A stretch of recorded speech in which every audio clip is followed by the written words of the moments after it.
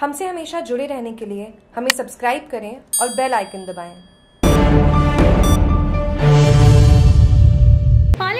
Collector Ranjdeep ने शनिवार को सोजत रोड कस्बे में रेलवे स्टेशन पर बाहरी राज्यों से आने वाले यात्रियों की कोविड जाँच व्यवस्था का निरीक्षण किया। साथ ही चिकित्सालय में आयोजित वैक्सीन शिविर का निरीक्षण कर अधिक से अधिक लोगों को लाभान्वित करने के निर्देश दिए। जिला कलेक्टर अंशदीप ने राजीव गांधी सेवा केंद्र में चल रहे मुख्यमंत्री चिरंजीवी योजना शिविर का अवलोकन कर व्यवस्थाओं का जायजा लिया।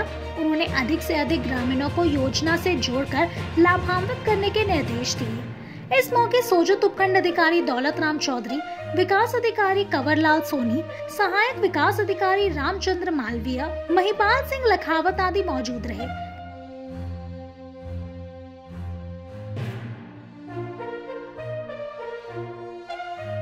जागरूक टीवी के लिए सोजत से बाबूलाल पवार की रिपोर्ट।